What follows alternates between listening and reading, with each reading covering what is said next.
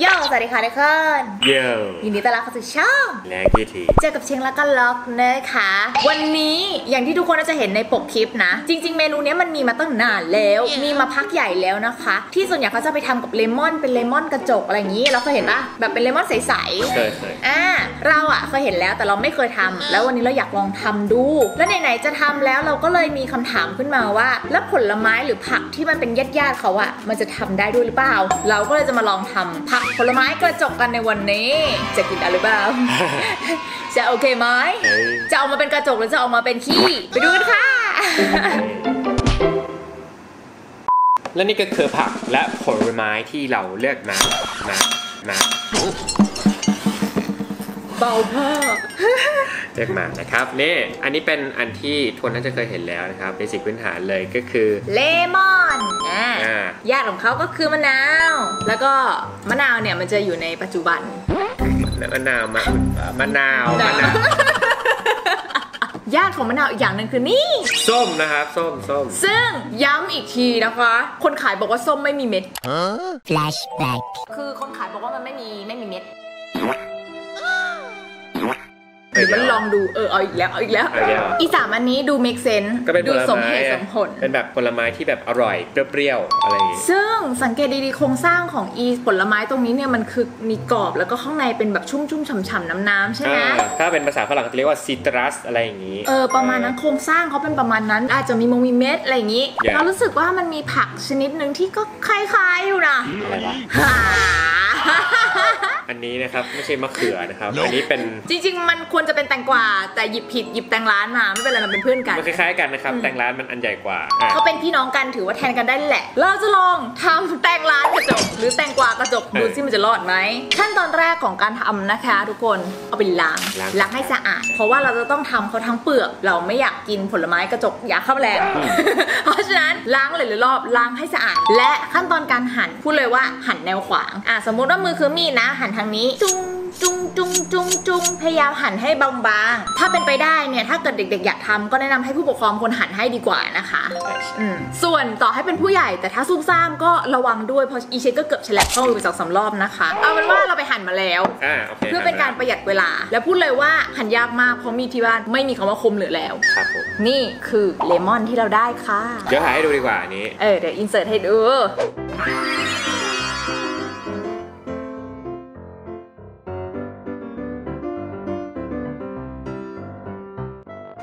นี่คือเลมอนชิ้นที่ฉันคิดว่าบางที่สุดอันไหนวะ อันนี้อันนี้อันนี้ แต่อันนี้มันมีเม็ดอะเสียดาย พอเราเขี่ยเม็ดออกมันก็เลยเป็นอุโมงค์อย่างเงี้ยนะคะ ใช่ แต่ชิ้นนี้คือแบบชิ้นที่เชงว่าเชงหั่นได้บางสุดแล้ว คือมันยากนะทุกคนหั่นให้บางๆเนี่ยให้ดูเปรียบเทียบกับชิ้นนี้ ความเท่าเทียมไม่มีอยู่จริงนะครับทำไมกูหั่นได้ ทุเรศขนาดนี้เอาเป็นว่าช่างมันนะคะ อย่างอื่นก็ประมาณเนี้ยทุกคนถ้าเกิดว่ายิ่งหั่นบางได้มันก็จะยิ่งสวย นี่ส้มสวยมากอะส้มส้มส้มส้มแล้วก็ถือว่าเป็นการคอนเฟิร์มไปในตัวว่า อันนี้เป็นส้มลายเม็ดจริงๆด้วย เย้อ่าและนี่ก็มะนาวน้องมะนาวนะคะนี่ครับอย่าเอาไปมาร์กตาเป็นแตงกวาเชนนะมึงพูดถึงแตงกวาแล้วก็อะนี่แตงแตงล้านล้านสองชิ้นนี้นี่ก็บางสวยอยู่นะคะอ่าใช่ครับแต่ดูชิ้นนี้ซะก่อนกูทำ บ้างบางบ้างก็เป็นโฮมเมดสไตล์ครับ อ่าใช่หมดหน้าที่ของเราครับทุกคนเดี๋ยวต่อไปก็เชงก็จะเป็นคนทำให้ดูนะครับขั้นตอนแรกของเรา DMC ไม่ว่าจะขยันเท่าไหร่ข้างในก็จะได้เกลือเกลือเห็นปะเป็นการชาที่มีแต่เกลือและเกลือ เราจะคลุกเกลือก่อนในทุกๆอย่างเลยนะคะ มาคลุกให้ทั่วถึงก่อนนะคะ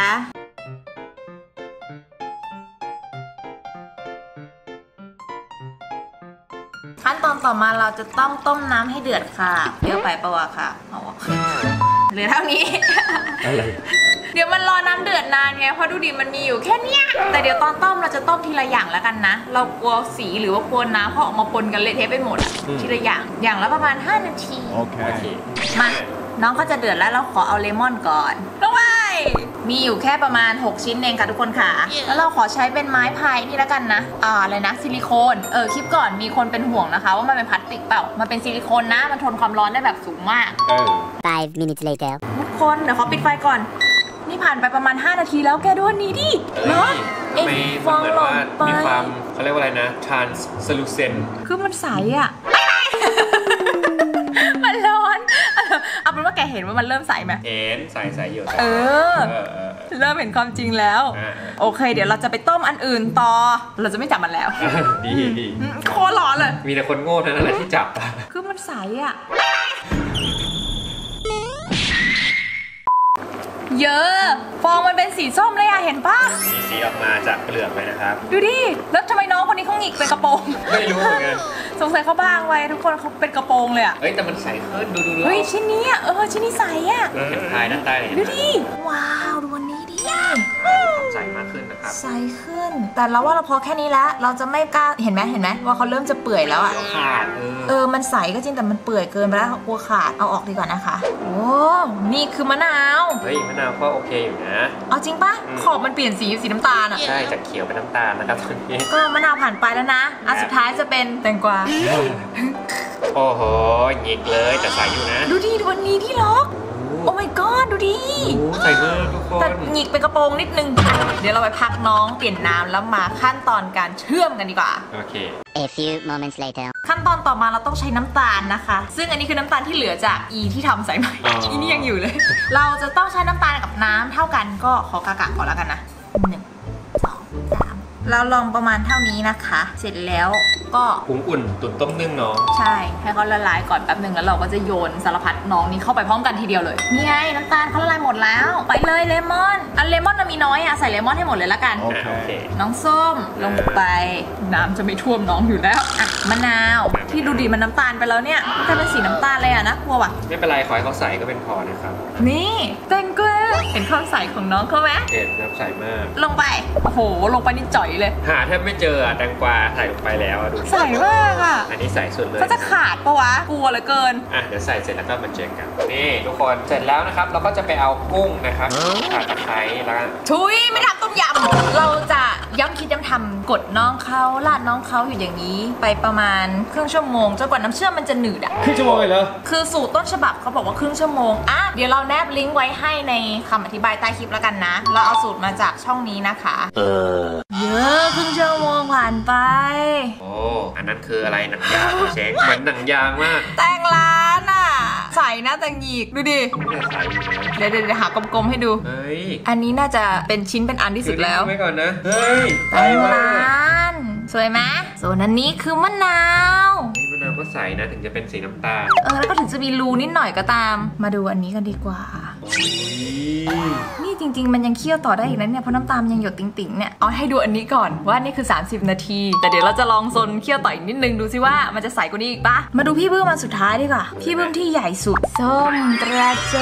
กคืออันเนี้ยเราอะคุยกันไว้แล้วว่าน่าจะใสน้อยที่สุดเพราะว่าตัวส้มเขาแบบเนื้อเขาสีส้มมากไงอ่าใช่เขามีเขาไม่ใส่เท่าอันอื่นนะคะ เดี๋ยวเราขอเคี่ยวต่ออีกนิดเรารู้สึกว่าน้ำเชื่อมเขายังเหลวอยู่อ่าแล้วเดี๋ยวเราเอาออกมาใส่จานแล้วมาชิมให้ดูกัน หลังจากที่เราเคี่ยวมาครึ่งชั่วโมงกว่าๆได้ นี่คือน้อง นี่คือเลมอนแกมันใส โอ้ใส่มากแทบจะมองทะลุไปเห็นหน้าเชนเดี๋ยวให้ดูมะนาวให้ดูมะนาวอยู่มะนาวข้างๆกันเลย นี่คือมะนาว โอ้โคตรใสอะใส่มากมะนาวกระจกจะให้ดูอันอันที่ฮาที่สุดในนี้ละจำตรงร้านได้ปะจำหน้าตามันตอนก่อนลงมาได้ปะเฮ้ยแต่มันก็ใสอยู่นะแต่มันหยิกคือมันเหมือนไอ้อาพริกน้ำส้มเลยว่ะแต่มันใสนะ ใสใสใสแค่มันหยิก ไม่เป็นไรขำๆไปซึ่งพูดก่อนเลยว่า อันเนี้ยดีสุดแล้วนะ มาดูพี่เบิ้มสุดในนี้อะพี่ส้มกุ้มใจมากเพราะเขาใหญ่มาก แกมันจะถือยังไงให้มันปลอดภัยเฮ้ยจะร้อนแล้วอย่าน้องใหญ่หยด เดี๋ยวขอเราเอาน้องเข้ามาจัดจานแล้วมาชิมกันดีกว่า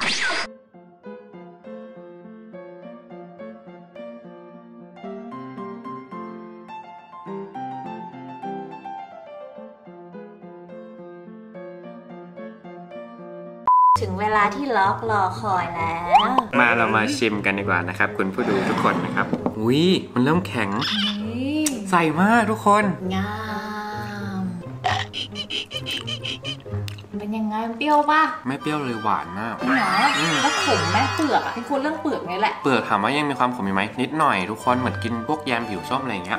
อืมแต่ว่ารวมๆแล้วเปรี้ยวหวานกำลังดีเลยอร่อยเลยอะล็อกเนี่ยเป็นคนที่ชอบกินเลมอนนะเวอร์ชันนี้เป็นไง อร่อยเลยผ่านชอบมากเลย คือถ้าเกิดใครอยากทำอะ ก็หั่นให้มันบางๆนะ ยิ่งบางยิ่งดีทุกคน แต่ถ้าบางไประวังตอนต้มนิดนึงอะ มันมันจะขาด ต่อไปไปเพื่อนเขาดีกว่าไปมะนาวไหมได้เลือกสักชิ้นครับผม อันนี้ละกันนี่มะนาวเองก็ใสมากเหมือนกัน ดูดิใสมากอืมกัดหน่อยกัดหน่อยเอาสักครึ่งนึงอยากรู้ว่ามันเป็นยังไง เปรี้ยวเปล่า ไม่มีความเปรี้ยวเลยทุกคน จริงเหรอ หวานอืมแต่อันนี้เปลือกแอบขมกว่าเลมอนนะ อ๋อเออมเปลือกมะนาวไงมันจะขอืม มนิดนึง งั้นแปลว่าระหว่างมะนาวกับเลมอนเราว่าเลมอนอร่อยกว่า ใช่เราว่าเลมอนอร่อยกว่า เพราะว่าเปลือกเขาขมน้อยกว่า งั้นต้องรอพี่คนนี้ พี่ส้ม พี่ส้ม อืมไม่ชอบไม่ชอบจะหนีบยากนิดนึงเพราะว่าเขาบาง แล้วก็เขาใหญ่ เรื่องการตะเกียบเนี่ยขอให้บอกเลยว่าถนัดมากติด นี่ไงบอกแล้วว่าน้องเขาแบบว่าเขาบางอืมบางแล้วก็จริงเขาใหญ่มาก มันมีโอกาสจะแบบว่าฉีกขาดนะคะอย่าเป็นยัง ไงโอ้ยส้มดีส้มดีเหรอส้มดีมากเพราะว่าหวานที่สุดเลยทุกคนอืมอืมกลิ่นเปลือกส้มคือแรงมากกลิ่นหอมสุดเลยอะแล้วมันไม่ขมใช่ไหมเปลือกส้มไม่ขมไม่ขมคือในบรรดาเปลือกเนี่ยเปลือกส้มมันนี่คือแบบกลิ่นหอมสุดเลยรสชาติดีสุดเลยอะไอ้นี่ไงฟิลเหมือนแบบแยมส้มแยมผิวส้มใช่ไหมใช่มาถึงอันที่เราน่าจะอยากชิมที่สุดละบอกตอนไหนเหรอกูบอกตอนไหนเหรอเฮ้ยดูดิน้องเขาออกจะน่ารักเนี่ยโอเคครับไหนๆก็ทำเขาขึ้นมาแล้วนะครับ ก็มาเดี๋ยวมาชิมอ่าพริกน้ำส้มกันนะครับทุกคน เนี่ยอันนี้สวยสุดแล้วเนี่ยไหนขอดูน้องเขาใกล้ๆอีกสักทีนี่น่าจะกัดไม่ได้ชิงน่าจะต้องกินเข้าไปเลยนะน่ากันด้วยอยากรู้ว่าน้องมันเป็นยังไงเท็กเจอร์เออกินเข้าไปเถอะอร่อยเหรอ มันยังเหลือความเป็นตังร้านอยู่ไหมอะเฮ้ยเหลือไว้ให้ฉันชิมด้วย อร่อยจริงเหรอไม่น่าเชื่ออร่อยเลย อย่าตัดสินที่หน้าตา ถึงแม้หน้าตาเขาจะเหมือนพริกน้ำส้มแต่เขาอร่อย เฮ้ยไม่โอเคมาก อร่อยเลยอร่อยมากๆ ไม่มีกลิ่นความเหม็นเขียวของแตงร้านเลยคือแบบหายไปเลยทุกคนกลายเป็นเหมือนแบบของหวานเลยอะอร่อยมากอร่อยอร่อยเฮ้ยอยากชิมอะเดี๋ยวขอไปชิมด้วย มามามาลองชิมดู ขอชิมแตงร้านก่อนเลยอะลองมาชิมอยากรู้อะแตงร้าน ลองชิมดู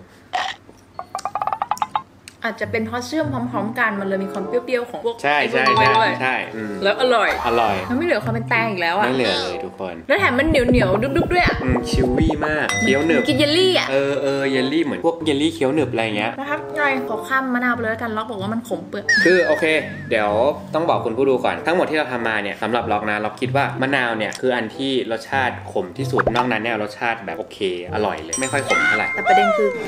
ส้ม ส้มอ่อนแอมาก ใช่ แล้วส้มติดจานไปเมื่อกี้ครับอะลองลองลองชิมดูสักนิดกินึนงด้านที่มันแหวกนี่แหละกินเป็นราเมงไปอะกินเป็นหมูชาชูอืมอืมส้มกัดได้อืมเนี่ย ใช่ใช่เปลือกมันจะนุ่มกว่า เฮ้ยแยมส้มเออยำผิวส้มเลยรสชาติคล้ายๆกัน อุ้ยอร่อยไหนชิมมะนาวหน่อยดิเพื่อพิสูจน์ว่ามันอื้อๆจริง ผมเตือนคุณแล้ว มันมันกินมันอร่อยแต่ว่าเปลือกมันขมนั่นเองๆอื มมันกัดมันกัดแค่นิดมันรู้เลยใช่ไหมกัดปุ๊บมันก็ขมวิ่งแล้วคืออะเช้งมันเป็นคนที่กินขมไม่ได้เลยทุกคนกินกินผักขมๆกินผลไม้ขมๆไม่ได้เออแต่ว่าเราโอเคนะในบรรดาทั้งหมดนี่นะ ส้ม the best ส้มอร่อยมากลองส้มกับเลมอนอะใช่ส้มลองมาเลมอนนะครับจริงๆไอพริกน้ำส้มก็อร่อยนะคืออีแตงร้านเนี่ยมันผิดคาดเออมันผิดคาดจากที่เราคิดมากเราไม่คิดว่ามันจะรสชาติออกมาแบบนี้นะคะอืมนั่นแหละเอาเป็นว่าใครชอบก็อย่าลืมกดไลค์กดแชร์กดติดตามเป็นกำลังใจให้พวกเราด้วยนะคะ เดี๋ยวเราจะมาคิด content อะไรสนุกๆอีกนะอืมครับ เจอกันใหม่คลิปหน้าครับคลิปนี้เราไปก่อน bye bye วีคิวมีข้อเสียตรงนี้หนึ่งอะล้างจานหนักโอ้โหจริง มันเหนียวมาก เหนียวจริง มันเหนียวหนืดไปหมดวิแต่ถ้าเอาไปใส่ในชาชาเย็นอะเฮ้ยพวกชามะนาวเย็นๆอะโหสดชื่นหรือจะเป็นแบบเอาไปวางบนไอศครีมอะไรอย่างงี้ก็ได้นะเออบนบนขนเค้มกก็ได้ชีสเค้กอะไรอย่างเงี้ยแต่มะนาวอย่าหรือเราผิดตรงไหนอะมันควรจะต้องมีวิธีแบบจัดการอะไรกับเปลือกเขาก่อนปะอะใครรู้ว่าวิธีทำให้เปลือกมะนาวไม่ขมก็บอกเราได้นะครับ